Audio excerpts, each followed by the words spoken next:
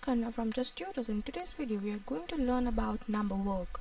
In today's video, we are going to discuss about these subtopics, different breakups of a number, the number just before and after a given number, and comparing numbers.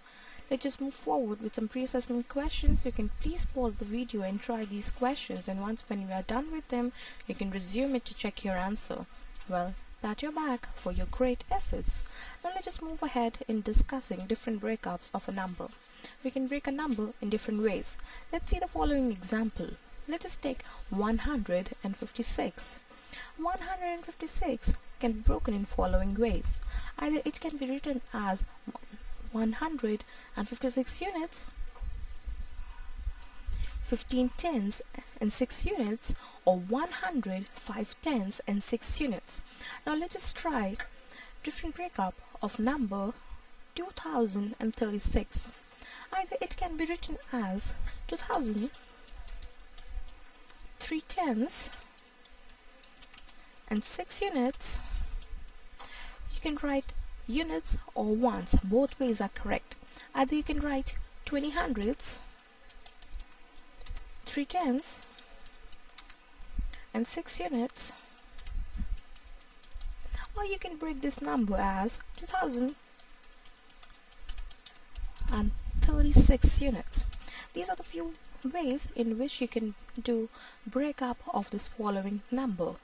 Now let us move ahead in discussing numbers just before and after a given number. Which number just before 10?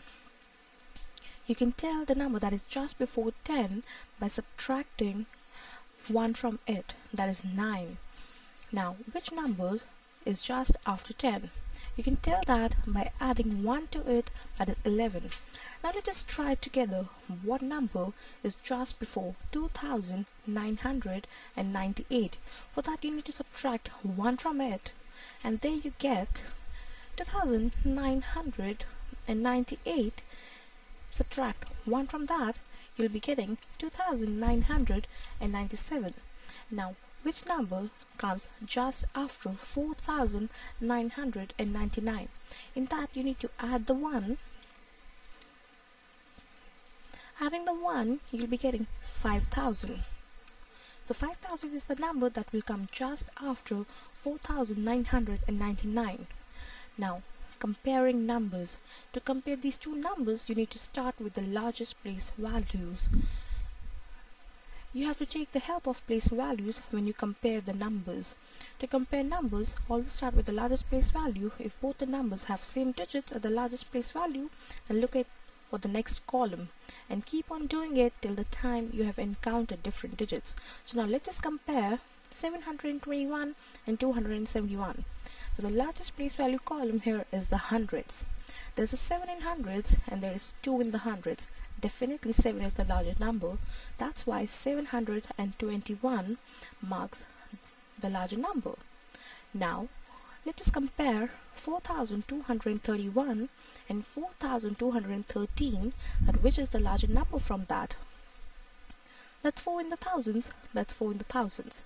That's 2 in the hundreds, that's 2 in the hundreds. Now that's 3 in the tens and that's 1 in the tens.